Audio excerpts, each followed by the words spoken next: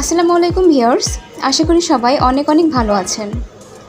অনেক দিন পর আবারও আপনাদের সামনে নতুন একটি ভিডিও নিয়ে হাজির হলাম। এতদিন পরীক্ষার কারণে আমি নিয়মিত ভিডিও দিতে পারিনি, তার জন্য আন্তরিক দুঃখিত। তো দর্শক, এই মুহূর্তে আমি আপনাদেরকে টাটা ইলেভেন জিরো নাইন মডেলের আঠারো সালের একটি ট্রাক দেখাচ্ছি।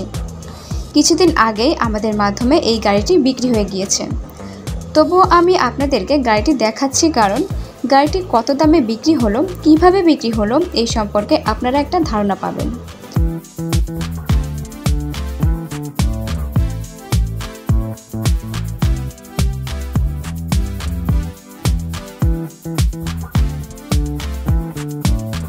তো দর্শক, এই গাড়িটি বিক্রি হলো রাজশাহীতে।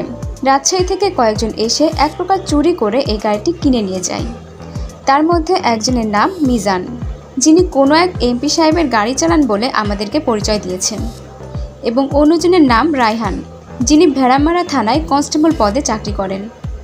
আসলে মানুষ দেখে কিন্তু কে চিটার, কে বারবার বোঝা যায় না। কেউ এমপির গাড়ি চালায়, কেউ পুলিশে চাকরি করে। তা সত্ত্বেও মিডিয়াদের ফাঁকি দিয়ে গাড়ি কিনে নিয়ে চলে যাচ্ছে।